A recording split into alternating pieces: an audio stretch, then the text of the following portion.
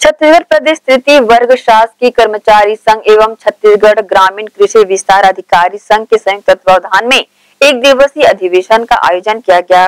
जिसमें पहुँचे मुख्य अतिथि Chhattisgarh state warehousing corporation एवं विधायक दुर्ग से अपनी मांगों को मुख्यमंत्री तक पहुँचाने अवगत कराया गया। साथ ही इस अधिवेशन में संघ के नए प्रांतीय अध्यक्ष का चुनाव भी संपन्न कराया गया। सप्तम प्रांतीय अधिवेशन के तहत छत्तीसगढ़ प्रदेश स्थिति वर्ग, शासकीय कर्मचारी संघ एवं छत्तीसगढ़ ग्रामीण कृषि विस्तार अधिकारी संघ के संयुक्त तत्वावधान में एक दिवसीय अधिवेशन का आयोजन दुर्ग के खालसा पब्लिक स्कूल में आयोजित किया गया,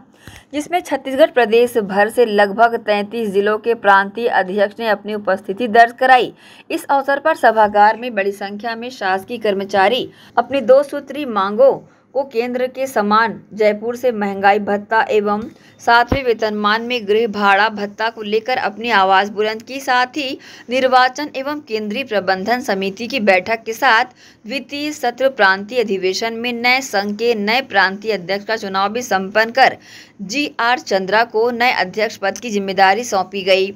गौरतलब है कि छत्तीसगढ़ प्रदेश स्थिति वर्ग शासकीय कर्मचारी संघ के दुर्ग जिला अध्यक्ष विजय लहरे ने बताया कि संघ की प्रमुख दो मांगों को लेकर सप्तम प्रांतीय अधिवेशन आयोजित किया गया है, जिसको लेकर कर्मचारी अधिकारी फेडरेशन के प्रांतीय आह्वान पर 25 जुलाई से 29 जुलाई तक आंदोलन किया जाना है, जिसकी रूपरेखा तैयार कर कार्यक्रम में पहुँचे मुख्य अतिथि Chhattisgarh state warehousing corporation एवं विधायक अरुण मोरा के समक्ष अपनी मांगों से अवगत कराना है ताकि छत्तीसगढ़ प्रदेश के मुख्यमंत्री भूपेश बघेल तक कर्मचारियों की आवाज़ पहुँच सके। इस संबंध में न्यूज़ टीम को दुर्ग जिला अध्यक्ष विजय लहरे ने अपनी प्रतिक्रिया दी। कर्मचारियों का आज सप्तम महाधिवेशन दुर्ग में संपन्न हुआ। पूरे प्रदेश से हमारे अधिकारी, कर्मचारियों के प्रतिनिधिगण यहाँ पर आए हुए थे और बहुत ही अच्छे वातावरण में यह सम्मेलन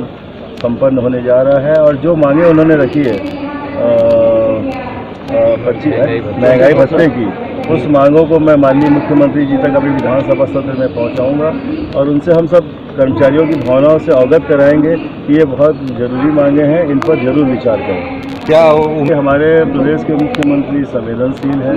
कर्मचारियों की हितों की रक्षा उन्होंने जब से पदभार ग्रहण किया तब से की है। और मैं ये मान के चलता हूँ कि मुख्यमंत्री जी के संज्ञान में ये बात आ चुकी है और आएगी तो निश्चित रूप से उसके निराकरण की दिशा में प्रयास करेंगे। छत्तीसगढ़ प्रदेश तृतीय वर्ग कर्मचारी संघ का ये सप्तम प्रांतीय अधिवेशन संयुक्त रूप से ग्रामीण ग्रामीण कृषि विस्तार अधिकारी के साथ आ, कल 16 जुलाई से संपन्न हुआ है। कल शाम में हमारे ग्रामीण कृषि विस्तार अधिकारी संघ के प्रदेश अध्यक्ष का रूपरेखा तैयार किया गया और आज हमारे छत्तीसगढ़ स्थिति तृतीय कर्मचारी संघ का निर्वाचन का केंद्रीय प्रबंध समिति के जिलाध्यक्षों के द्वारा निर्वाचन की प्रक्रिया अभी चल रही है। ग्रामीण कृषि विस्तार अधिकारी संघ की ओर से प्रदेश अध्यक्ष के निर्वाचन में निर्विरोध निर्वाचन किया गया है और छत्तीसगढ़ ग्रामीण कृषि विस्तार अधिकारी संघ के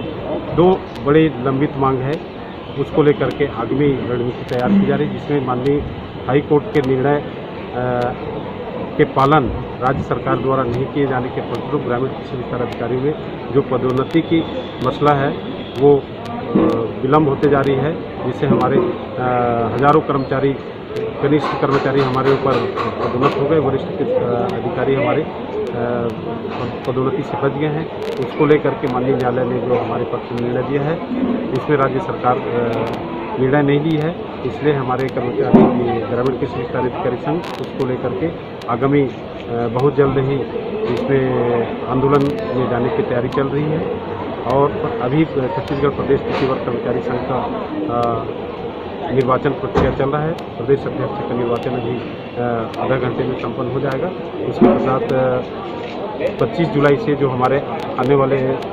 उनतीस तारीख तक जो सामूहिक अवकाश लेकर के महँगाई भत्ता दियो को लेकर के जो आंदोलन किया जाना है, उसकी तैयारी आज के